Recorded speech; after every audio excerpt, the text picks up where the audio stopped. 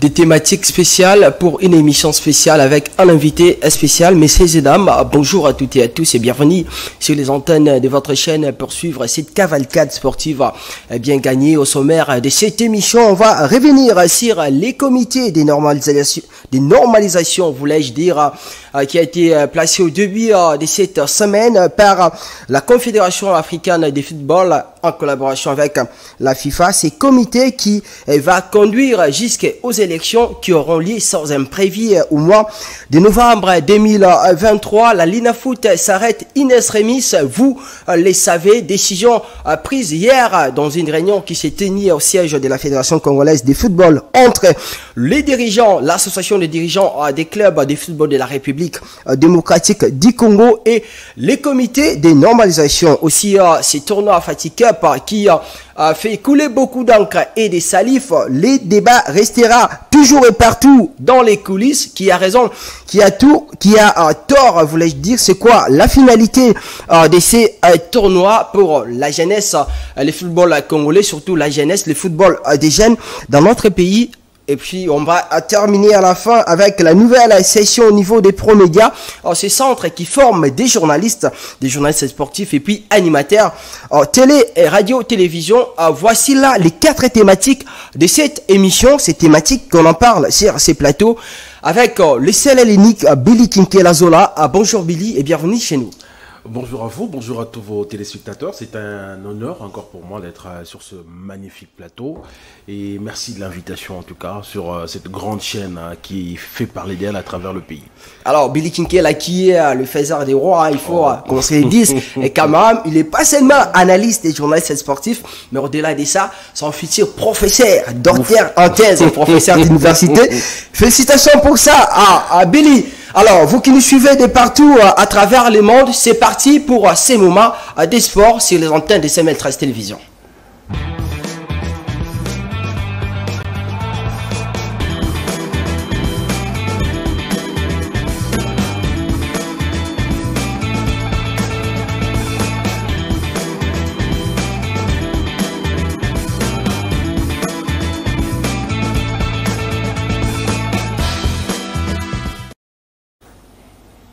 Bien, on va commencer avec euh, cette première thématique, comme je le disais au début euh, de cette émission euh, concernant les comités de normalisation à la Fédération congolaise des football association. Oui, ces comités qui met un terme aux 20, euh, aux 20 ans passés par Kostomari Selimani, lui qu'on appelle l'homme moderne, avec ses proches à la tête de cette fédération, ces comités euh, placés par la FIFA et la CAF pour conduire les sportifs congolais aux élections. Oui, ces élections très attendues depuis un moment pour changer la donne au sein de cette fédération. Billy Kinkela, vous êtes au courant euh, de ces comités de normalisation au moment où euh, les gens s'attendaient peut-être à, ces élections, mais il faut encore attendre et attendre jusqu'au mois de novembre. Quelle analyse pouvez-vous faire de cette décision prise par la CAF et la FIFA pour la nomination de ces comités de normalisation? Bon, moi je suis de ceux qui pensent que l'actuel président de la FIFA est en train d'exercer une sorte de paternalisme sur l'Afrique parce que ça, ça fait quand même de trop. Hein. regardez, euh, ça va faire 11 euh, pays au moins sur le continent où la FIFA a imposé une normalisation. Et à un certain moment, on est allé même jusqu'à trois comités de normalisation, le cas du Cameroun par exemple. Donc ce qui fait que euh, moi, j'estime que voilà, c'est parce que vous ne verrez nulle part ailleurs au niveau de l'UEFA que la FIFA impose des comités de normalisation alors que les choses ne sont toujours pas rose-rose. Mais pourquoi seulement en Afrique? C'est là où je me pose la question. Mais au moins, pour ce qui concerne notre cas, c'est vrai, il n'y a pas de confusion possible. Hein. Je trouve que euh, sans la FIFA, euh, les différentes fédérations nationales Hein, au niveau de l'Afrique ne vont pas se développer. Ça, c'est un fait, parce que c'est la FIFA euh, qui apporte les moyens. C'est une évidence. En, termes de moyens, euh, là, je salue au moins le travail réalisé jusque-là par Infantino. Mais c'est ce paternalisme-là qui veut que à chaque moment, tout ce que nous devons faire, nous devons référer à, à, Infantino à travers ses spires, ses sbires qu'il a mis un peu partout. Regardez ce qui est arrivé avec Amadamad. Il était pour beaucoup dans le départ d'Amadamad. Euh, Infantino, dont la tête de Constant Omar ne plaisait plus, euh, il a tout fait pour que Omar il soit écarté, tant mieux. Mais le, le, le, le problème avec euh, cette situation que nous connaissons présentement au niveau du comité de normalisation, pourquoi je, dans un premier temps, je me suis opposé à cela? Parce qu'il n'y a pas eu crise au sein de la fédération. Parce que c'est pas du jour au lendemain, on se réveille le matin qu'on va dire qu'on va placer un comité de normalisation. C'est vrai, la, la FECOFA a traîné un peu le pas dans l'organisation des élections, on a tiré les choses en longueur, on a versé dans une sorte de légèreté dans la gestion de cas de, de la pédocriminalité, des entraîneurs qui ont été suspendus et tout d'un coup on se réveille le matin, on lève la suspension sans qu'il y ait une enquête sérieuse. Donc de ce point de vue-là, je me dis, c'est vrai, la FECOFA a failli euh, dans la gestion de certains dossiers. Je parlais notamment euh, de l'élection, la feuille de route qui n'a pas été respectée. On a tiré les choses en longueur. Mais pour moi, à quelques semaines, parce que les élections étaient déjà annoncées pour le, mois de juillet, à quelques semaines des élections, je ne me voyais pas la, FIFA imposer euh, euh, comités de normalisation. Mais qu'à cela ne tienne, c'est un fait avec lequel il faut faire. Alors, Billy, euh, pour vous, ces comités n'étaient pas une urgence pour le moment, non plus une nécessité? Non, dans, la mesure où les élections, j'ai relevé le fait. Voilà. J'ai peint un tableau à, à, deux, à deux colonnes. Voilà. J'ai relevé le fait que les comités exécutifs de la FICOFA a traîné le pas. A traîné le pas dans l'organisation des élections. Et là, il n'y avait pas un quitus à leur donner. Mais dès lors qu'il n'y avait pas crise au sein de la FICOFA, il y, a, même un, comité euh, d'élection, un comité pour organiser les élections, qui a été appelé pour se mettre au travail. Pour moi, j'ai trouvé que ce n'était pas une urgence de, de procéder à, ce comité de normalisation. Déjà, il faut déjà dire, quand vous regardez la, composition, le réalisateur est revenu sur ça, je me dis, il y, a un souci à se faire. Il y a un souci à se faire. Est-ce qu'on va aller, je voudrais pas être un prophète de malheur, mais est-ce que le calendrier, le, le, chronogramme sera respecté Sera respecté. Je suis en train de mettre des, des, en tout cas, de, doutes euh, sérieux, euh, parce que déjà quand vous regardez, M. Sambi lui-même, qu'est-ce qu'il a comme mérite dans la gestion de notre sport dans ce pays? Son apport, ce qu'il a apporté. Voilà, avant, parce que je, suis de ceux qui pensent qu'arriver à ce niveau-là, c'est vrai, c'est un, comité pour quelques mois, mais déjà arrivé à ce niveau-là, on doit avoir fait ses preuves. On se retrouve avec un comité où on n'a pratiquement pas de gens qui ont fait leurs preuves dans le football. Je ne suis pas un prophète des malheurs, ce sont des brillants intellectuels, notamment M. Kabea, que je connais particulièrement. Mais euh, moi, je suis, je suis vraiment inquiet. Je suis inquiet.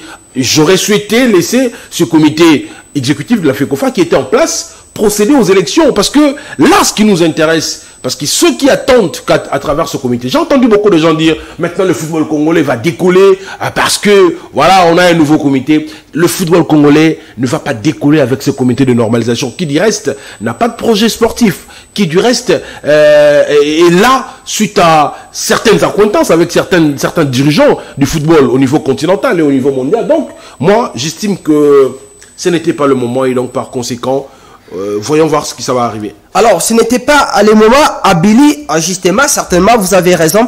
Mais pensez-vous pas que cette désorganisation au sein de la Fédération congolaise de football, depuis longtemps, vous savez, il y a beaucoup de problèmes, même dans les coulisses, on nous parlait des conflits même entre dirigeants et puis ces problèmes de détournement des frais euh, concernant la télédivision, l'argent de la FIFA. Est-ce que c'est là aussi euh, n'a pas poussé la CAF et euh, la FIFA de prendre cette décision, question d'attribuer la gestion pour un petit aux gens qui seront peut-être sincères, surtout au niveau de la gestion financière Bien entendu, bien entendu, c'est ce comité qui qui qui qui qui, sort donc euh, qui qui moi, moi, moi je ne vois pas que Chimanga et, euh, et Sabonde. Je vois depuis euh, Constant Marie, on a on a été soumis à un supplice. Notre football a été soumis à un supplice qui ne dit pas son nom. Aucun projet pour le développement de notre football. Regardez par exemple la FIFA à travers son son son, son projet FIFA Forward qui attribue annuellement à chaque fédération euh, euh, un, un, montant donné pour développer le, le, le football. Mais chez nous, c'est depuis 2006 que cette somme traîne encore. On parle de près d'un million de dollars américains qui traînent encore dans les, les, les caisses de la FIFA, tout simplement parce qu'on n'a pas eu de projet. Euh, le, le, comité Omari et tous ceux qui ont suivi n'ont pas eu un projet réel pour faire décoller notre football, pour faire décoller. Alors que le Sénégal, qui a bénéficié euh, des mêmes avantages que nous, aujourd'hui, regardez ce que produit le Sénégal. Pratiquement, on est sur, sur, sur, sur on est en train de planer sur le football euh, continental. La, la, la, le, disons le, le Maroc, n'en parlons pas. La Tunisie, la Mauritanie, d'ailleurs, pour ne pas aller très très loin. Nous, on n'a pas eu de projet. Donc, j'estime que la gestion n'a pas été orthodoxe.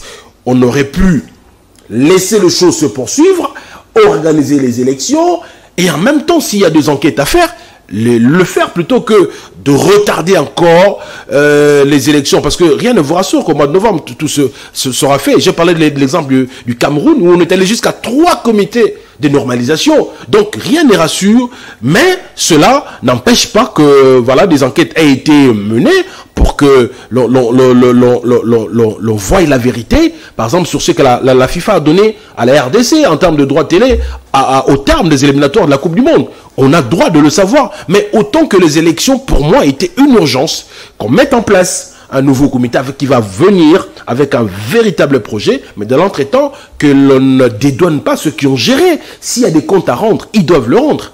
Alors, on ne peut pas parler euh, de ces problèmes au niveau euh, de la FECOFA sans pourtant marteler sur les vrais problèmes du football congolais aujourd'hui.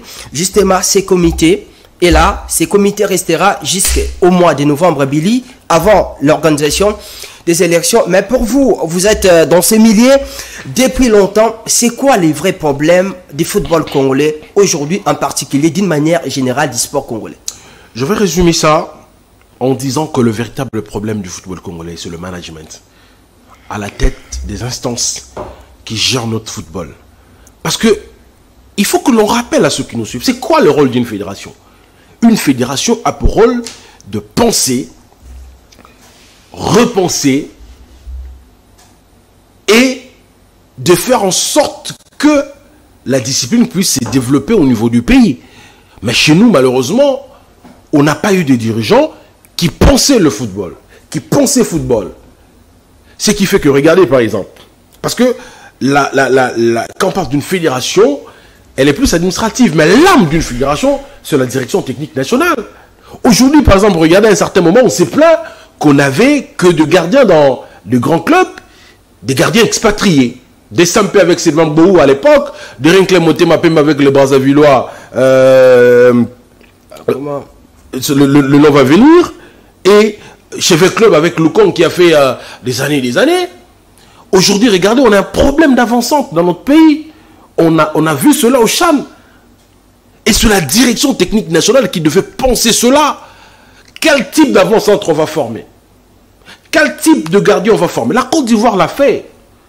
Ils ont même rapatrié leur ancien gardien qui, travaillait déjà pour la fédération tunisienne, Jean-Jacques Tizier, pour former le gardien de but. Et le projet est en train de porter aujourd'hui. Mais chez nous, on a manqué cela. On a un problème de formation. La RDC, tous les spécialistes du football ont tendance à le dire, s'accordent à dire que nous sommes un, un, vivier et que si jamais on devait euh, verser dans la formation de jeunes. La formation, là, vous parlez des académies. Oui, des académies. Parce que ce que nous vivons aujourd'hui, je n'ai rien contre tous ceux qui organisent des structures d'encadrement, mais ces gens-là, ils entraînent le jeune. Ils ne forment pas le jeune. Déjà, combien d'éducateurs sportifs qu'on a?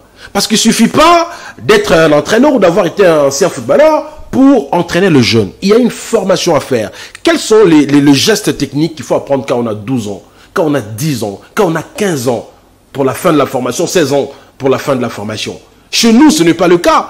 Voilà, on vient, on va euh, amener les enfants dans des écoles, ou Jana, tout ça, mais sans qu'il y ait dans la formation une catégorisation. C'est ça le problème. Regardez aujourd'hui, est-ce que, à part Chancel Mbemba, quel est ce joueur congolais aujourd'hui qui peut prétendre, parce que le Kambemba, c'est une exception mondiale? Regardez, on est parti de Moubélé, meilleur joueur sur le continent. Quel était son sort? Peut-être disparaît. Tout simplement parce qu'on a manqué de rudiments. Le talent est là. Le Congolais est talentueux. Mais qui devait penser cela? Déjà, on a, on a un problème aujourd'hui. Que notre centre technique national ne fonctionne presque pas. Il y a plusieurs raisons bidons qui ont été évoquées. Euh, la spoliation du terrain, tout ça. Pour moi, je trouve que c'était des raisons bidons. On a manqué de projets. la direction technique nationale, regardez, à la, à la FECOFA, c'est un studio comme ça, fermé avec des, des triplex. Là où on doit penser le football congolais, là où on doit former le cadre technique, on s'est permis de former quelques entraîneurs en leur donnant des diplômes euh, euh, passe-partout, tout ça. Et aujourd'hui, la FIFA, la CAF, quand elle a compris cela, vous savez que Miaï aujourd'hui n'a pas le diplôme CAF A. Miaï ne peut pas se mettre, ne peut pas être titulaire chez Mazembe s'il faut miser sur son diplôme. Parce que la, la session qu'ils ont faite, il y a eu trop de laisser aller. Il y a des gens qui n'ont pas respecté les cursus, qui n'ont pas fait le, qui n'ont pas passé le diplôme CAF C, B, et directement, ils étaient inscrits pour le diplôme CAF A. Quand on a analysé, voilà, on a annulé toute la, la, la, la, la promotion. Donc voilà le véritable. On a un problème de formation, formation de cadre, formation de la. Alors, Billy, euh, s'il vous plaît, vous continuez quand vous parlez de la direction technique nationale. Vous faites allusion euh, de la personne morale comme direction technique ou bien direction technique comme personne physique. Non, c'est toute une direction. On parle de direction technique nationale. Et dans chaque province, on devait avoir des, directeurs fédéraux. Eux qui vont avoir l'occasion de former les entraîneurs, de, de, de, de, former les athlètes.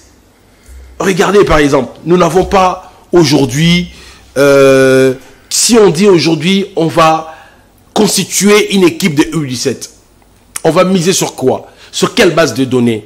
Qui va s'en charger?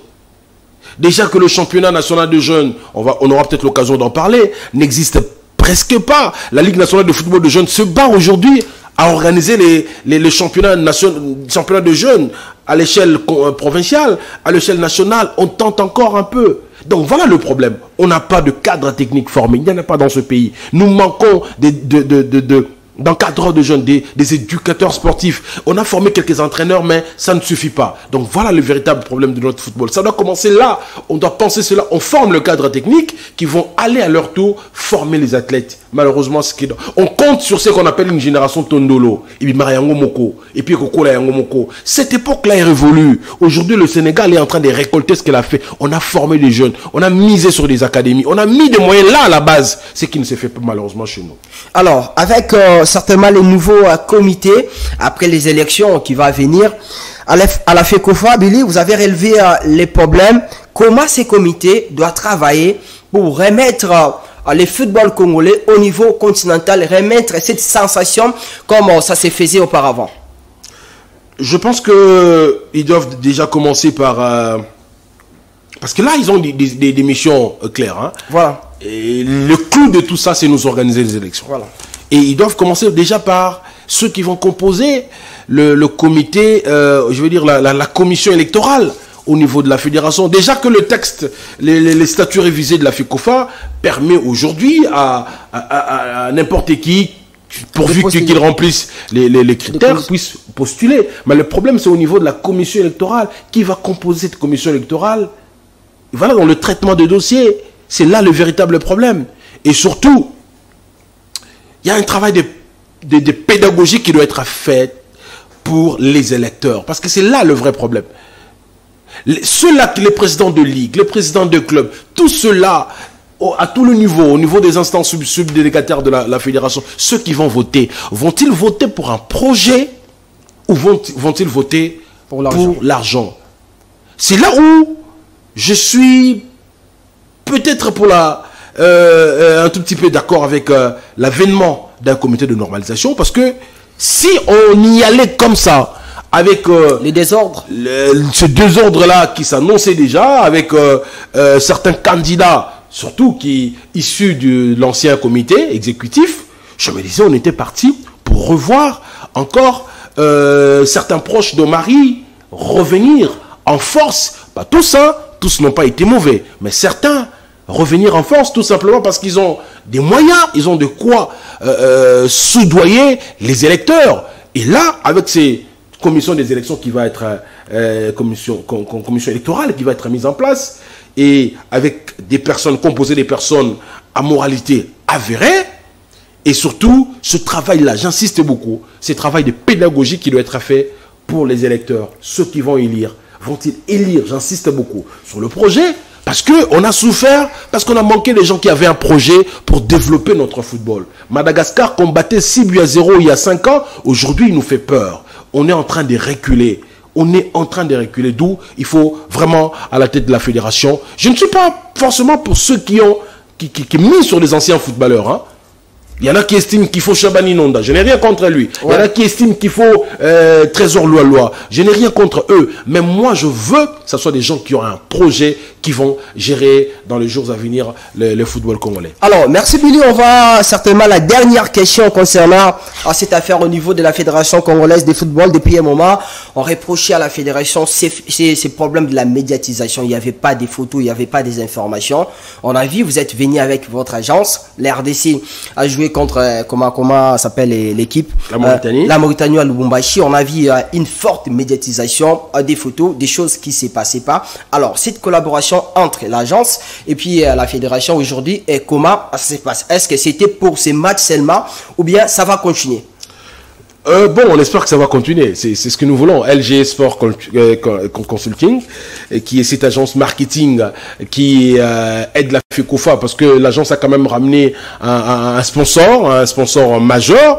Aujourd'hui, oui. Et puis, il y a eu ces coups de pouce parce que il y, avait une confusion. Il y en a qui estiment que nous sommes venus remplacer la direction de communication de la FECOFA. Rien à voir. Nous sommes plutôt en train de leur donner un coup de pouce sur surtout le côté digital avec le site de la FECOFA. Bon, un site qui fait l'objet aussi de beaucoup de piratage, mais l'occasion pour nous de rappeler, euh, euh, en tout cas à tous ceux qui nous suivent, surtout pour la page Facebook, il y a une page officielle qui ne se fie pas à toutes ces autres pages qui, qui pullulent. Donc, les, partenariats va, va, va, continuer sûrement pour que euh, rendre plus belle l'image du football congolais et surtout de l'image de notre équipe nationale. Donc, le, le partenariat va, va continuer et surtout pour les prochains stages qui vont venir, on va encore parce que là on était à l'étape expérimentale. Là, on va encore, en tout cas, bosser dur pour permettre aux Congolais, où qu'ils soient, qu'ils aient l'information et surtout l'image de l'équipe nationale. Vous étiez à Lubumbashi avec les Léopards pour ces matchs allés contre la Mauritanie. Vous aviez interviewé euh, les joueurs, on a vu euh,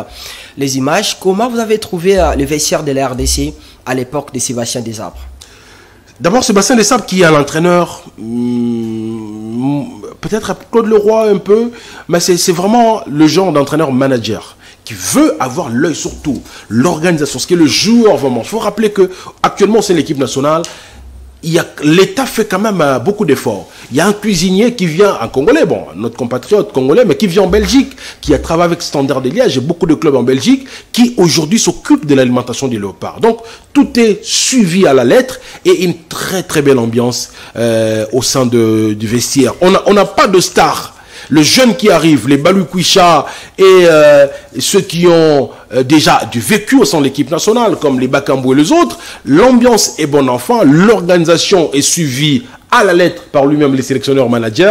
Donc je crois qu'avec ce groupe, parce qu'il y a des jeunes que vous n'avez pas encore vus, un certain Gaëtan Laurent, vous l'avez pas encore vu. Balukwisha n'a pas encore donné tout ce qu'il peut. Moi, je les ai vus pendant presque 10 jours à l'entraînement. Je vous dis, on a du talent et avec un peu d'organisation, on peut euh, même si on ratait hein, la cloche hein, pour euh, les compétitions à venir, parce que pour moi déjà la Cannes à Côte d'Ivoire, ce n'est pas euh, une priorité. Si on y va, tant mieux. Si on n'y va pas, avec ce groupe que l'on a, on doit et surtout la belle ambiance qui règne. Je crois qu'on peut faire quelque chose dans les années à venir. Alors, on peut faire quelque chose dans les années à venir. On va chuter avec cette thématique, avec ces belles paroles de Billy.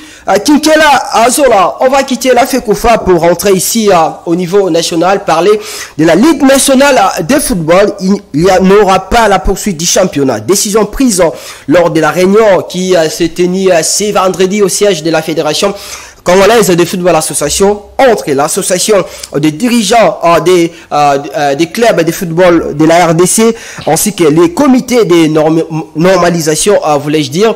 Et puis les dirigeants des clubs ont émis leur vœu de ne pas poursuivre avec les championnats. Question de permettre aux joueurs d'aller se reposer puis revenir lors de la pré-saison pour préparer l'année prochaine. Donc la Lina Foot s'arrête in extremis. Euh, Billy, vous avez euh, cette information.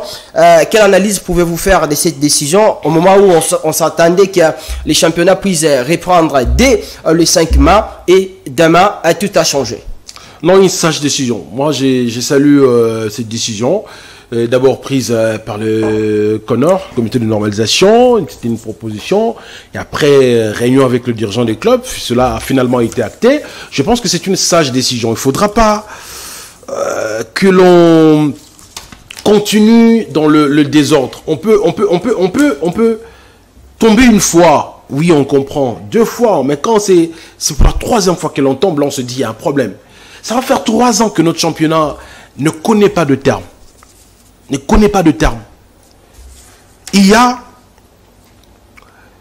des clubs pour la plupart, hormis les clubs qui ont joué les interclubs. Pour la plupart, nos clubs ne s'entraînait plus. Le joueur ne s'entraînait plus depuis un moment. Ça va faire, rappelez-vous, le dernier match de V Club date du, 27 novembre. Il y a plus de 4 mois. Plus de 4 mois. Bon, V Club, on peut comprendre, on a joué euh, les interclubs, donc on a continué à s'entraîner. Mais pour les autres clubs, il y avait un arrêt total. Demandez à tous les physiologistes et tous les médecins des sports, ils vont vous le dire.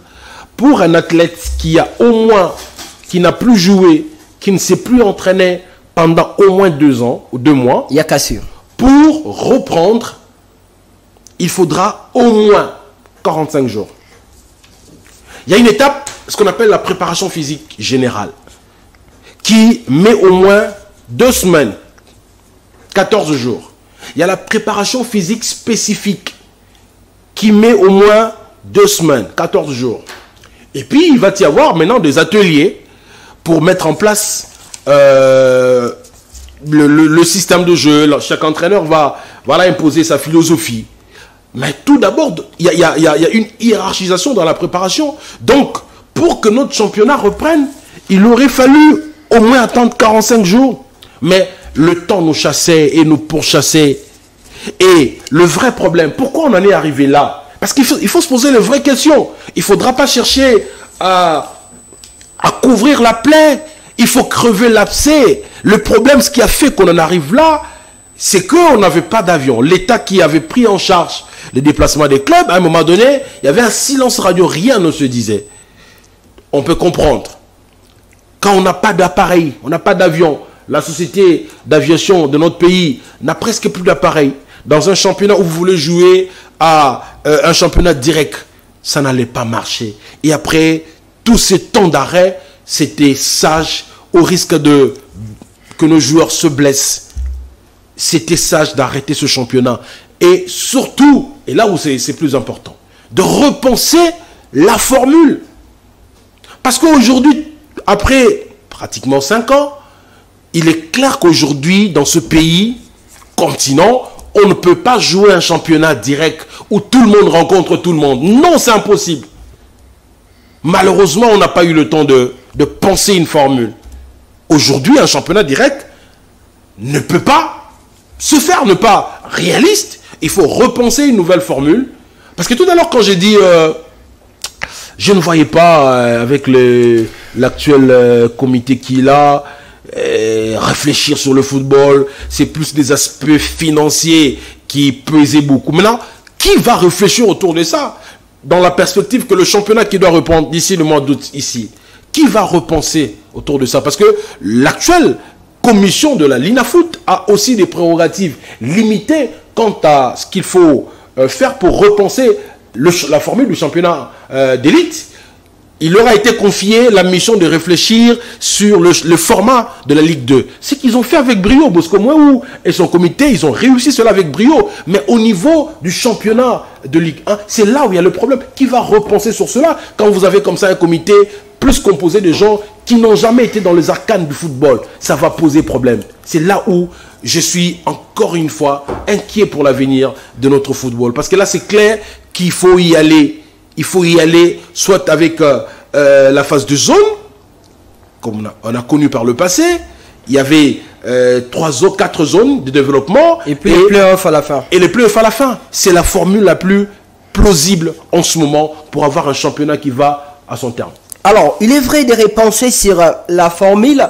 Opinion de Billy Kinkela, cette opinion partagée également par le secrétaire général de la CAF, Véran Mosengo, qui était devant la presse le mardi dernier. On va les suivre.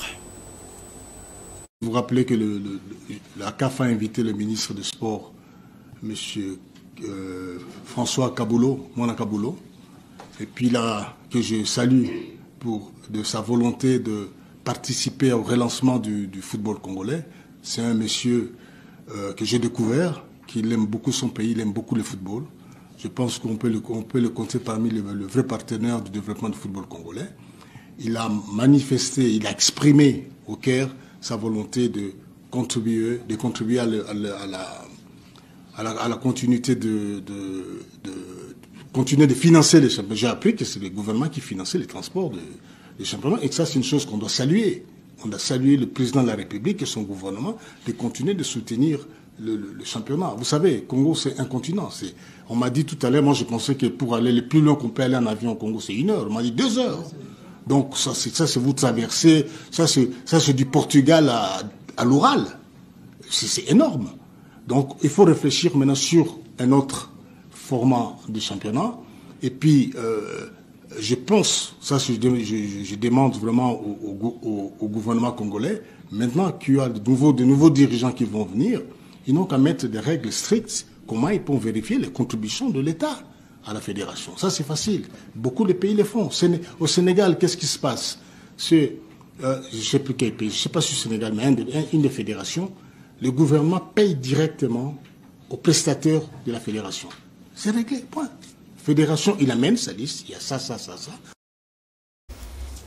Voilà, Véron Moussengo, secrétaire général de la Confédération africaine de football. Billy, vous avez suivi euh, l'ISEC. Euh, Véron, êtes-vous d'accord avec lui?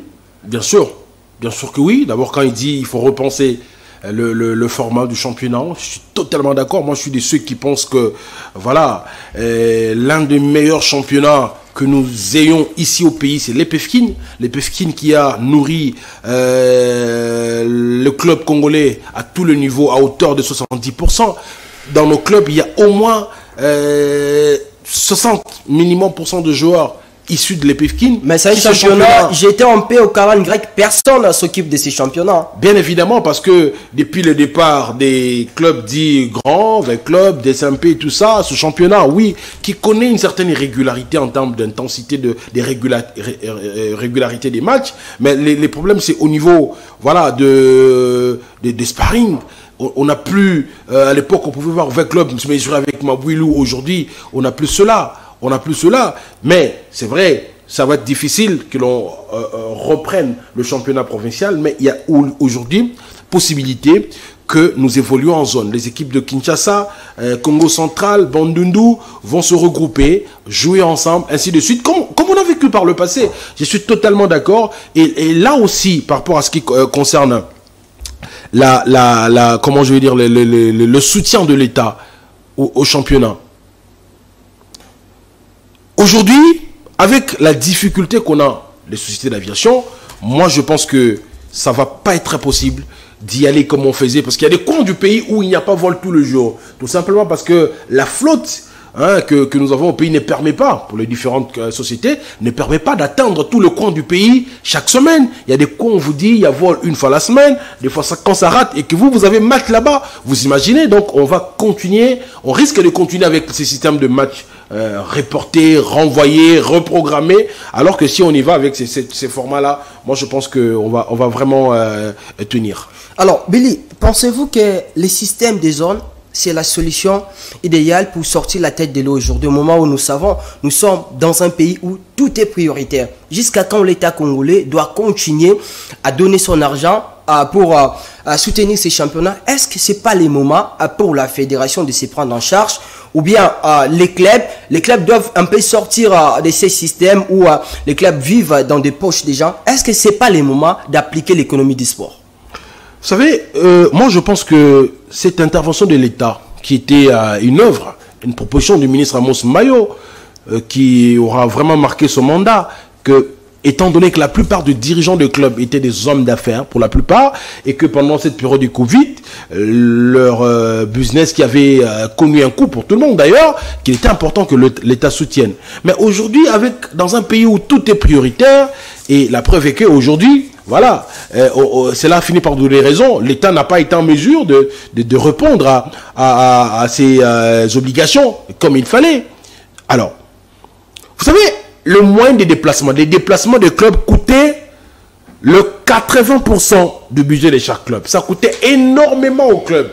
Ce qui fait que, aujourd'hui, il faut, moi, si je dois, si j'ai une proposition à émettre, c'est d'appliquer le loi, les, états généraux, les conclusions de l'état généraux de Mbouela. Ah, Parce que aujourd'hui, ce qu'il faudra éviter, c'est de penser que quand on arrive au pouvoir et que tout, que tout ce qui a été fait avant, on doit le jeter en pâture, c'est ce qui est mauvais. Il y a ce qu'on appelle la continuité des affaires de l'État. Les États généraux de Mboué l'avaient quand même réuni en termes de, d'experts en sport, ce qu'on a de meilleur, la crème de sport dans ce pays. Il y a eu des conclusions qui ont été, euh, qui ont été euh, tirées et qu'il faudra aujourd'hui que l'Assemblée nationale s'en saisisse pour que le chef de l'État promulgue. Par exemple, en termes de marketing sportif, je pense que l'intervention de l'État peut cesser dès lors que, pour ce qui concerne par exemple la sponsorisation de clubs, il va y avoir des mesures pour les sociétés, les entreprises qui viendraient soutenir le club, apporter les moyens au club, bénéficier de certains allègements fiscaux. Ce qui ferait que le club va avoir des moyens c'est inconcevable de voir un club congolais qui joue la phase de groupe de Ligue des Champions sans un sponsor. C'est inconcevable. Alors qu'au Maroc, même le tout dernier, là, au moins deux sponsors. Donc, il faut faire en sorte que, sur le plan, les, les, conditions économiques permettent qu'il y ait plus. Et cela a été décidé dans les États généraux d'Imbouela. Pour que l'État ne soit pas ce qu'on vit aujourd'hui même avec l'équipe nationale. L'État n'est devenu qu'une sorte d'agence de voyage. L'État n'intervient que lorsqu'il faut payer les déplacements des, clubs, les, équipes qui jouent les interclubs, l'équipe nationale. Mais l'État ne, sponsorise pas le développement du football. C'est tout le problème. Alors que si le club a le moyen, si les clubs ont des partenaires, cela ferait en sorte que nous ayons un championnat qui va se relever, parce que le club aura les moyens de s'attirer les meilleurs joueurs au pays et sur le continent. Et cela permettra à notre football de pouvoir se développer. Voilà pour moi la, la, solution pour résoudre définitivement ce problème-là. Est-ce que Billy, ce n'est pas le moment, ah, par exemple, pour l'État de se dire, bon, ok, le fait pour moi de financer en tout moment, de payer les billets pour euh, les équipes nationales, euh, ça permet euh, aux dirigeants des clubs de devenir des fainéants au lieu de travailler et de chercher des sponsors. L'État s'est dit, bon, à partir d'aujourd'hui, je vais plus financer les voyages, par exemple, des équipes nationales. D'ailleurs, il faut, faut, faut, dire que nous sommes euh, l'un des rares pays où cela se fait encore. Hein, parce que même quand vous allez en France, bon, on va pas comparer, hein, c'est incomparable. C'est le jour et la nuit. Mais c'est pas l'État qui paye l'entraîneur. Ici, quand vous faites signer les contrats d'un sélectionneur, c'est l'État qui doit payer. On se pose la question de savoir. Mais l'équipe nationale n'a-t-elle pas des, des partenaires? Aujourd'hui, heureusement, grâce à LG Sport Consulting, on a euh, une, banque et d'autres qui vont euh, s'annoncer. Voilà, faire en sorte que les, les, les, la fédération ait des moyens, faire en sorte que les clubs aient les moyens, parce que les annonceurs ne sont pas des bienfaiteurs. Ils visent un intérêt. Quand ils viennent là, ils viennent sponsoriser les clubs. Ces clubs-là ont les masses derrière, c'est euh, pour assurer leur visibilité, mais également ils doivent bénéficier, j'insiste, ils ne sont pas des bienfaiteurs. en, en, échange, ils doivent bénéficier d'un certain nombre de choses, ce qui n'est pas le cas avec les contextes actuels. D'où, d'où il faut plus que jamais, je crois que le ministre, euh, l'actuel ministre Claude François Kaboulou Mouana Kaboulo, qui n'est pas très enclin, malheureusement, très enclin à, faire avancer les choses dans ce sens-là. Je veux lui demander en tout cas de, s'y pencher parce que ces états généraux ont coûté au pays et il y a eu des conclusions intéressantes, notamment sur ce côté euh, économique, marketing euh, du sport congolais. Alors, les championnats s'arrêtent, ça fait 4 mois aujourd'hui. Les joueurs et les clubs vont rester jusqu'au début de la saison prochaine, qui fera un total de 8 mois. Pensez-vous pas que cet arrêt euh, du championnat euh, va-t-il euh, pas comment préjudicier la prestation, bien les prestations des clubs congolais représentants de la RDC aux interclubs de la CAF l'année prochaine? Sûrement, c'est ce qu'on ce qu'on a vécu aujourd'hui, en fait, récemment avec nos, clubs, nos quatre représentants. Je me dis, s'il y avait championnat, je ne vois pas le Popo commettre les, erreurs qu'ils ont commis, surtout les, les, trois derniers matchs, où ils ont baissé en termes d'intensité encaissé le début euh, en dernière minute. Je ne vois pas faire club quitter la Ligue des Champions, la phase de groupe, de façon aussi honteuse. Donc, je pense que ça va avoir une répercussion. Et, non seulement pour le club, même, même pour le, le Chan. Les éliminatoires, c'est déjà pour le mois de juin prochain. Mais entre deux mots, cher ami, il faut choisir le moindre. Entre deux mots. Entre exposer la santé des joueurs avec une reprise imminente du championnat comme on annonçait cela alors qu'ils ont connu un temps où ils ne se sont pas entraînés, ils n'ont pas joué, les exposer à des blessures graves et euh, tenter de trouver une solution pour le club qui vont jouer les interclubs et pour les éliminatoires du Chan, entre ces deux mots, je pense que ne pas reprendre le championnat était le moindre. Et par conséquent, moi, je suis d'avis. Il reviendra maintenant au club de, de savoir manager, parce que ces joueurs-là ont des contrats, j'imagine qu'ils vont continuer à être payés, que voilà, après qu'il y a un programme rigoureux en prévision des interclubs et même en prévision du Chan. Je crois que euh, Otis Ngoma, qui euh, est encore jusque-là à la tête de cette équipe euh, locale, va avoir un plan de travail assez repensé et assez sérieux pour permettre aux joueurs de ceux qui vont être sélectionné pour les éliminatoires du Chan qui sont annoncés euh, pour le mois de juin prochain et, quand même, euh, on va dire, des, des matchs en jambes. Alors, ça vous fait comment de voir le même club aujourd'hui, représentant de la RDC aux interclubs de la CAF, les clubs qui ont l'habitude en tout moment de refuser de jouer certains matchs du championnat pour aller préparer euh, ces compétitions? Le même club revenir aujourd'hui et réclamer manque du championnat, ce n'est pas du bis répétitif pour vous. C'est tout simplement parce qu'on a, on a affaire à une commission de gestion.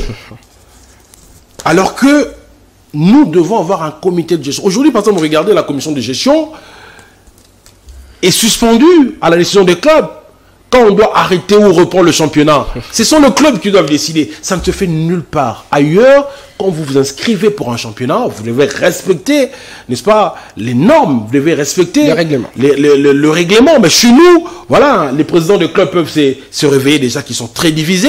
Il y a d'un côté les clubs, euh, il suffit seulement d'être euh, bien positionné et que les autres ne soient pas bien positionnés. On est divisé.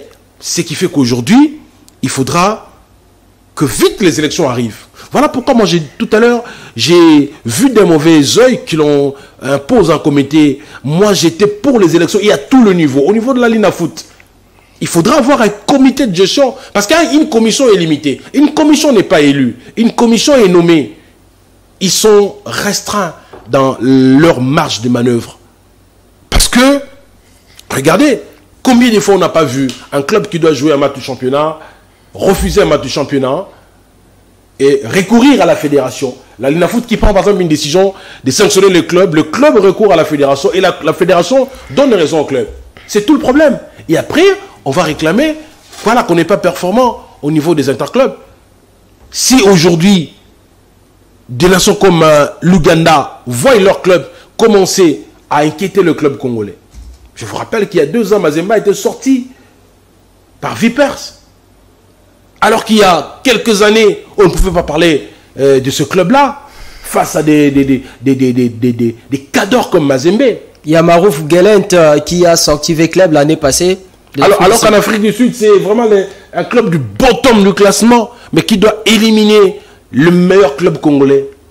C'est tout le problème. Il faut, il faut, faut, il y, a, de quoi revoir cela. Il y a des quoi revoir cela. Alors, euh, puisqu'on parle des dirigeants de ces clubs, on va suivre la réaction de Lambert Osango, qui est le président de la DEFCO, après la réunion qui s'est tenue hier entre la DEFCO et les comités de normalisation de la FECOFA. Le comité actuel nous a appelés pour échanger autour euh, de la continuité ou non du championnat euh, de la Lina Foot. Et ils ont demandé notre avis pour savoir qu'est-ce que les clubs pensaient. Mais les clubs euh, ont émis les vœux, tous, de voir ce championnat s'arrêter parce que nous sommes allés de contrainte en contrainte. Et quelles sont les conditions qui nous poussent à arrêter? D'abord, premièrement, les joueurs ont fait pratiquement 4 mois sans entraînement. Il y a déjà une difficulté de faire reposer les joueurs. De deux, la difficulté liée également euh, à cette contrainte de moyens. Nous avions émis les souhaits parce qu'il y a un peu de sous, euh, tel que nous avions échangé avec euh, les délégués de la FIFA et CAF, c'est de prendre ce moyen et mettre à la disposition de l'organisateur pour la saison prochaine. Au regard du format du championnat, qui ne sera plus le même, le championnat devrait changer parce que le Congo était grand et étant grand, et le championnat devrait changer pour permettre l'engouement du football dans toutes les provinces et voir aussi ce championnat commencer et prendre fait au lieu de s'arrêter de temps en temps. Donc euh, à cette date aujourd'hui, les... Lambert Osango, le président de l'association des dirigeants euh, des clubs de football de la République démocratique du Congo, bien on va analyser euh, cette réaction de la DEFCO. Euh, par rapport au temps, le 20 avril, les dirigeants de club exigent la reprise de la Lina Foot. Publication du calendrier. Un jour après, la Lina Foot publie les calendriers. Le 21. On arrive le 25, le même dirigeant des clubs en réunion avec les délégués de la FIFA et la CAF demande à Véron ça veut dire à la CAF et à la FIFA, dans la mesure du possible, d'arrêter les championnats. Le 28 avril, refus du championnat, faute du temps, réaction des dirigeants des clubs. Comment trouvez-vous cette manière de faire les choses au niveau de la DEFCO? Non, ils n'étaient pas prêts. Les, dirigeants des clubs n'étaient pas prêts. Parce que déjà, il a dit, euh, les clubs avaient libéré les joueurs pour la plupart, surtout ceux qui ne jouaient pas les interclubs, alors que euh, euh, n'était pas encore, il n'y avait pas encore une décision annonçant la fin définitive de la saison. Donc il n'y avait pas d'ambition de la part de. Mais pourquoi ils n'ont pas dit depuis longtemps, Billy Est-ce qu'il y a une pression derrière Il y a de l'hypocrisie dans, dans, tout ça. Parce que là, vous allez voir, euh, je ne vois pas Mazembe là. Vous allez voir, ces, ces dirigeants de club, la DEFCO, moi j'ai toujours soutenu les dirigeants des clubs, ce gens qui euh, euh, font tout pour encadrer la jeunesse. Par moments, ils affament leur famille euh, pour encadrer la jeunesse. Mais il n'y a pas de sincérité, malheureusement. Ils sont divisés par leurs intérêts. C'est les intérêts qui le divisent. Et ils le savaient bien que le championnat ne reprendrait pas. Bon, de toute façon, on ne va pas les condamner. Ils savaient que le championnat ne reprendrait pas. Et voilà, même en demandant que l'on reprenne le championnat, ils savaient qu'ils ils allaient finir par euh, euh, arriver à ce niveau-là. Voilà pourquoi moi je dis, on a trop donné de l'importance à la DEFCO. Ils sont pratiquement en train de décider à chaque décision qu'on doit prendre, la, commission de gestion de la, foot doit prendre, il faut recourir à eux. C'est tout le problème. C'est tout le problème. Bon, d'autre part, comme je le dis tantôt, il ne faudra pas les condamner. Parce que ce n'est pas eux qui ont fait que le championnat s'arrête. Ce n'est pas eux qui avaient décidé de prendre en charge les déplacements des clubs. Cela a été décidé par l'autorité suprême. Et quand l'autorité n'a pas su euh, réagir au moment ou à temps, et que le club n'ayant pas programmé cela dans leur budget, c'est tout le problème. Donc, on risque de revenir sur ce qu'on a dit. Avec le nouveau format, ça permettrait, même si l'État n'intervient pas, que le club se prenne en charge. On aurait moins de matchs en, déplacement. Vous savez, c'est que ça coûte au club? Je parlais tout à l'heure de 80% du budget que cela coûtait au club. Donc, il y, a, plus que jamais il y a lieu de repenser tout cela et que prochainement, avec euh, le nouveau format, qu'on ne donne pas autant d'importance à la DEFCO parce que ça, ça décide surtout.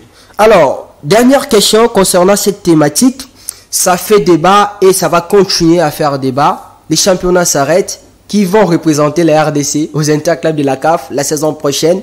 Il y a certains qui évoquent euh, euh, cette fameuse article 61 ou 64 comme ça de la Lina Foot. Ça veut dire, quelle sera la solution? Est-ce qu'il faut revenir au classement de l'année passée ou bien il faut envoyer les clubs selon le classement de cette année? Non, faut être sérieux. On peut pas, on ne peut pas. on ne peut pas. Le football est codé. Le football est, est codifié. Le football est normé. Comment vous expliquez qu'une équipe comme Sangabalende qui n'aurait joué que 6 ou 8 matchs? 8 matchs, je crois. 8 matchs. Et d'autres qui en étaient, je crois, à 11, 10, 11, 11, 10. Et qu'on puisse homologuer une telle édition. Non. Non, il y a année blanche, monsieur. Quand il y a année blanche, on ne demande pas. Les élèves ne peuvent pas, peuvent pas demander qu'ils montent des classes, qui, qui, qui doublent. Mais cette année, Quand il y a année le blanche- président du club aurait refusé, Billy. Mais là, ils sont devant un fait accompli. Il y a année blanche qui ne demande pas qui monte, qui descend. À la guerre comme à la guerre. Là, les clubs de Ligue 2, certaines zones qui ont bien évolué, qui souhaiteraient euh, voilà, se voir euh, monter, euh, franchir un palier, monter de, de, de niveau, on est désolé. On est désolé, tout le monde doit souffrir. Tout le monde doit souffrir. L'intérêt général. Pour moi, et pas pour moi, comme le dit le règlement, on n'a pas joué, on n'a pas atteint les quorums des matchs qu'il faut, passer moi l'expression. Et donc, cette édition doit être considérée, doit être tout simplement annulée, que l'on reprenne euh, au classement de la, saison dernière. Alors, reprenez euh, le classement de la saison dernière. Avis de Billy Kinkela. On va changer euh, la thématique cette fois-ci. Oui, ça fait couler beaucoup d'encre et de salive. Ces fameux tournois Fatih Cup dans les milieux sportifs congolais, l'initiative ne vient nullement de la CAF et moins encore de la FIFA. Mais si l'UNIFAC décide d'organiser un tournoi euh, pour la promotion des jeunes, la FIFA et la CAF vont soutenir euh, opinion de Véron. C'était la réponse du secrétaire général de la CAF à la presse dans cette euh, euh, conférence qui s'est tenue euh, à l'hôtel Pullman euh, le mardi. Billy, ce tournoi à Fatih Cup que le ministre des Sports euh, à Kabulo a annoncé après son retour ici à Kinshasa, lui euh, qui revenait euh, de l'Égypte au siège de la CAF. Les tournois annoncés, ça divise aujourd'hui. Beaucoup euh, sont contre l'organisation euh, de ces tournois. Quel est votre avis par rapport à cette euh, initiative de François-Claude Kaboulou Mwana Kaboulou Bon, pourquoi ça devrait susciter autant de réactions, faire couler autant d'encre, de salive? Pour moi, le Félix Tshisekedi aujourd'hui est un président qui a démontré qu'il qu'il voulait soutenir le, le- le- football, soutenir le sport. Et que une telle compétition porte son nom, moi je ne vois pas pourquoi ça devrait nous diviser autant, étant donné que la jurisprudence nous renseigne que ça ne serait pas une première. Mais là où je ne suis pas d'accord, c'est le fait de qu'on ait dit que c'était une initiative de la, la De la- FIFA. CAF. Il n'y avait pas sincérité. Voilà, ça, ça fausse tout. Ça fausse tout. D'autant plus que l'idée, qui est très très bonne, hein, euh, bon, moi, j'ai pas personnellement suivi les ministres des Sports en parler. hein. J'ai suivi le secrétaire général de la FECOFA qui l'avait annoncé le premier. Donc, on ne va pas, euh, je pense, faire porter ça sur le dos du ministre. Mais l'idée, est très bonne. Relancer le football de, jeunes au niveau de la sous-région. Mais je me dis, pourquoi aller chercher loin dès lors que nous avons déjà un championnat national de jeunes qui existe, que l'État n'accompagne pas, malheureusement. Ces championnats qui, à ce jour, ces championnats qu'organise la Ligue nationale de football de jeunes, que, que- dirige notre confrère Zéphir Kanina, il y a déjà la phase, des, la phase provinciale qui se poursuit, qui va se clôturer bientôt. Et la phase nationale qui est annoncée pour le mois de juin. Pourquoi ne pas mettre les moyens déjà à ce niveau-là Parce qu'on sait que, bon, voilà, Fatih Cup, ça va demander euh, un certain nombre de moyens, tout ça. On parle de, on parle de 8 millions. Parce qu'il y aurait 8 nations qui devraient prendre part. Mais là où ça coûte moins, un véritable championnat de jeunes dans ce pays, la phase nationale, pour Pourquoi ne pas mettre le moyen là-bas, mettre le moyen à la Ligue nationale de football de jeunes pour nous organiser d'abord ce championnat national des jeunes? Plusieurs éditions ont été annulées tout simplement parce que les équipes qui devaient venir des provinces n'avaient pas de moyens. Le gouverneur de province qui ne donnait que quelques billets aux équipes qui prennent part euh, euh, au, euh, au, championnat d'élite, mais qui négligent les jeunes, ceux-là qui sont appelés à, remplacer demain. Ils étaient négligés. Il y a deux éditions qui n'ont pas eu lieu tout simplement parce que les, provinces, les représentants des provinces n'ont pas pu rejoindre Kinshasa pour que on parle d'un vrai, d'un vrai alors championnat de jeunes, la phase nationale. C'est tout le problème. Donc pour moi, Fatikop, très bonne idée, très bonne idée, mais il faut partir déjà à la base. Pour moi, ce n'était pas une priorité. La priorité, c'était le championnat national de jeunes. Parce que quelle, quelle, équipe on allait envoyer à, ce tournoi? Quelle équipe on allait envoyer à ce tournoi des, des clubs comme euh, des V-Clubs, des SNP, il y a quand même des joueurs de moins de 20 ans. Vous parlez de quel club Vita, qui a, dans, dans, le règlement euh, du championnat national, il y a, y, a, y, a, y a un point où chaque club doit avoir des équipes de jeunes. Quel est ce club-là qui a aujourd'hui une équipe de jeunes? Hormis Mazembe. Hormis Mazembe. Aucune. Il se contente de payer 500 dollars parce que la condition, c'est que quand vous n'avez pas une équipe de jeunes, vous payez 500 dollars. Il faut commencer par là. Et Dieu merci, cette saison, ils vont, la saison qui va venir, la Ligue nationale de football jeune a renforcé euh, le club pour que voilà, chaque équipe euh, qui va prendre part à, la Ligue de foot ait une équipe de jeunes. L'idée est bonne, pour me résumer, l'idée est bonne, mais c'est la manière avec laquelle on s'y prend qui, pour moi, fausse tout.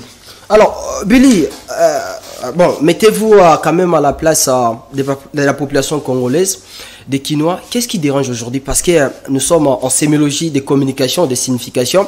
Si vous voulez, est-ce que c'est les noms des FATICAP ou bien c'est les projets Qu'est-ce qui dérange je crois que c'est le nom qui dérange parce que le projet, je l'ai démontré ici pour le développement euh, du football de jeunes au niveau de la zone euh, de l'UNIFAC. L'idée n'est pas mauvaise. Parce que déjà là, il y a le ministre, euh, euh, le président de l'UNIFAC, hein, qui, qui, qui, regroupe euh, ces nations, qui était surpris. Donc, ce que j'ai dit, donc, l'idée était bonne, mais aussi est mal pris. Et, je ne vois pas pourquoi le nom devrait déranger. Parce que Fachi a, a, démontré que c'est quelqu'un qui est très engagé. Pourquoi quand le tournoi Sekafa a apporté à un moment donné le, le nom de Kagame, Kagame pourquoi ça n'a pas divisé autant? Parce que Kagame soutenait cela. Si Fatih décide de soutenir cela, je ne vois pas en quoi ça va déranger. Mais attention, le logo qui a circulé là, selon la, les amis de la communication du ministère des Sports, le logo qui a circulé avec euh, le deux doigts renvoyé un peu à l'UDPS n'est pas n'est pas le fait des voilà officiel. C'est pas vrai. C'est un tournoi qui a été sûrement euh, c'est un logo qui a été conçu sûrement par des gens proches de, de la Mouka ou d'ensemble, j'imagine, pour discréditer le chef de l'État qui fait beaucoup pour le sport. Voilà, Billy, on arrive euh, pratiquement à la fin de cette émission. Avant de terminer, on va prendre quelques minutes pour euh, parler de ces projets euh, colossal, abyssal, le centre Promédia, ces centres qui forment des jeunes aujourd'hui à devenir journalistes, qui démontrent à la face du monde leur qualité. La nouvelle session, c'est déjà pour les mois des les mois des mains prochains. Alors, pour euh, l'inscription, comment les choses se passent? Alors, je voudrais rappeler à ceux qui suivent, euh, je sais qu'ils sont nombreux à suivre cette chaîne, cette émission particulièrement, ils doivent savoir que quelle que soit leur filière d'études euh, faite à l'université, et que s'ils estiment qu'ils ont de la passion, ils ont cette vocation pour les métiers de l'audiovisuel, pour l'animation télé, pour le journalisme, c'est l'un des métiers le plus ouverts au monde, parce que on ne va pas condamner quelqu'un qui a fait le droit et qui estime qu'il a un penchant pour le média, le dire qu'il n'a pas, qui n'a pas, qu'il ne peut pas le faire. Parce qu'il y a deux choses différentes. Hein. Il y a la formation euh, scientifique, académique qui est donnée à l'université, à la faculté, et la formation professionnelle. Quelqu'un qui a un diplôme de droit et qui a un diplôme de relations internationales, qui pense qu'il peut, qui a un diplôme de lettres, qui pense qu'il peut euh, embrasser le journalisme. Promédia est là. Donc pour ceux qui sont intéressés, il y a la page Promédia, Promédia, donc en deux mots. Et puis euh, voilà, passer sur place dans nos bureaux, nous, nous contacter. Et nous formons le journalisme, euh, les journalistes des sports. C'est une particularité. déjà en RDC, nous étions en retard pas. En France, il y a déjà, quand on parle de journalisme économique, communication... Dans le monde aujourd'hui évolue avec des spécialistes. Journalisme politique intérieur, politique extérieure. Aujourd'hui, le sport est devenu incontournable. Euh, il suffit pas d'avoir terminé en journalisme, en communication, pour connaître le sport. Le sport, il faut tout connaître, il faut commencer à la base. Le jargon, l'organisation administrative du sport, l'organisation technique du sport, l'analyse technique, l'analyse tactique. Il faut apprendre cela. Et ça, ça ne s'enseigne pas à l'université. Mais si vous venez à Promédia, hormis les aspects journalistiques, méthodologie de l'information, technique d'animation, vous avez à côté les modules liés au sport, donc ce qui vous permet, une fois que vous terminez, euh, voilà, d'être déjà bon hein, sur, le, sur le marché. Donc, la nouvelle session commence le, le, le, le 15 mai. Pour ceux qui euh, veulent, euh, voilà, ils peuvent nous contacter à travers notre page Facebook Pro Média ou personnellement contacter Billy Kinkela pour toutes les questions.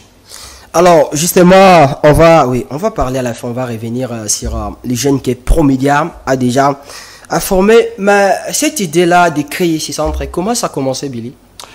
Moi, je suis d'abord licencié en lettres et civilisation française avant d'aller faire le journalisme. Monsieur les. Donc j'ai fait l'IPEN avant d'aller continuer à l'UNIKIN.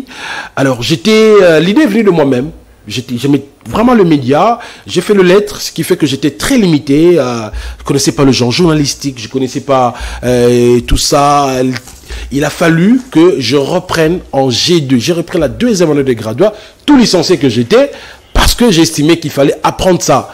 Il suffit pas seulement d'aimer le journalisme. Parce qu'aujourd'hui, qu'est-ce qu'on voit? Si vous avez votre frère, qui sort, qui est responsable quelque part dans une chaîne, on vous prend, on dit, alors, bara français, bien. Alors qu'on oublie qu'il y a l'éthique qu'il faut connaître, il y a le genre journalistique qu'il faut connaître, l'écriture journalistique qu'il faut connaître. Donc, tout est parti de moi-même, de mon expérience. Et avec des amis, euh, Valdo et les autres, pour ne pas le citer, Valdo qui a fait l'IEC, par exemple, qui a fait le marketing à l'IEC, mais qui est aujourd'hui un brillant journaliste. Donc, l'expérience des amis comme ça, on s'est réunis, on s'est dit, pourquoi ne pas partager notre expérience avec ce jeune-là, ceux qui sortent des écoles de journalisme, et même ceux qui ne sortent pas des écoles de journalisme, ceux qui ont fait d'autres filières, mais qui ont la passion. Donc l'idée est partie comme ça, et puis voilà, aujourd'hui, euh, ça va faire 7 ans qu'on est là, ça existe. Alors, en 7 ans, c'est énorme. Ça vous fait comment de voir euh, des jeunes que vous avez formés, tels que des Genovic Mboa, Robino euh, et Bengo, évoluer et puis prendre des responsabilités, des grandes responsabilités aujourd'hui au niveau des différentes chaînes à travers le pays? Non, ça fait plaisir, énormément plaisir quand on le voit. compris moi-même. Hein. donc, pour, pour rappeler qu'il y, en a qui ont fini par euh, aller à, l'université, faire une formation académique pour avoir un gros diplôme, parce qu'ils étaient jeunes pour la plupart, et il y en a qui étaient encore à l'université. Donc ça fait plaisir quand on vous voit comme ça, on se dit, tiens... Moi j'ai commencé le premier j'étais encore en G1. Voilà. J'avais, j'avais pas vraiment des notions journalistiques au niveau de l'université. Ça, ça fait plaisir, et c'est une récompense pour nous, c'est, ça nous booste, ça nous pousse à dire, bon voilà, on doit continuer. Par moments on se fatigue un peu, mais on se dit, quand on voit tout ça, et ces jeunes-là qui viennent vers nous, et qui se disent, on, le sait aujourd'hui dans nos universités, la formation n'est pas professionnelle. La formation est académique. C'est plus théorique. Alors que chez nous, on est un peu plus dans les côtés pratiques et professionnels. Donc, voir tous ces jeunes-là aujourd'hui évoluer, ça nous fait énormément plaisir. Et donc, l'occasion pour appeler ceux qui nous suivent et qui sont intéressés de ne pas hésiter. C'est la 15 promotion Oh, ça va être la 20 deuxième promotion. ça va vite. Alors Billy, euh, si vous pouvez euh, passer votre numéro euh, pour les gens qui sont qui aiment devenir journaliste et qui aiment ces métiers, justement pour vous contacter. Voilà, 089, donc plus 243, 89, 77, 48, 250. Donc pour ceux qui voudraient, je reprends, 089, 77, 48, 250, ou Billy Kinkela, hein, ou bien la page Pro Média, Pro en deux mots, Pro et puis Média. Et euh, voilà, on va, on va se voir, échanger et partager énormément de choses. Alors nous aussi, euh, nous sommes là. Vous pouvez nous contacter en tout moment. Si euh, vous rêvez de, un jour faire exercer ces métiers dans des différentes chaînes de la République démocratique du Congo, ou Je voudrais avec votre permission quand même dire un, mot au directeur général de ces médias, Louis-France Kouzekessa, que nous appelons affectueusement Monsieur le Recteur, une intelligence éclairée, jeune mais pertinent, d'une intelligence incroyable. Euh, Jean, euh, lui, euh, lui, France ça en tout cas, bon week-end à, lui, là où il est, ainsi qu'à toute sa famille, à tout le personnel quand même de ces, ces chaînes que je suis avec beaucoup de délectation. Billy, vous savez, bon, je voulais chiter, mais je ne peux pas chiter comme ça sans pourtant vous poser cette question. Aujourd'hui, on dit toujours que les journalistes congolais n'ont mm. pas l'habitude d'écrire. Mm. des livres, les journalistes, des politiques, sportifs.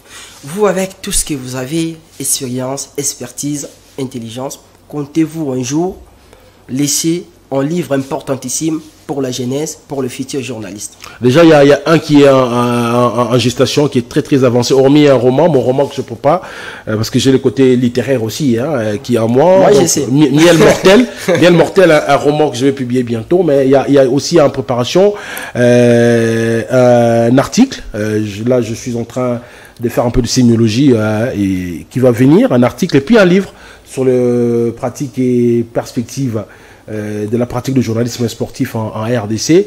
Et puis une conférence, il y a des amis de l'UNIKIN qui m'ont contacté aussi pour une conférence euh, très très bientôt à l'université de Kinshasa. Donc voilà un peu, ça va venir, ça va venir.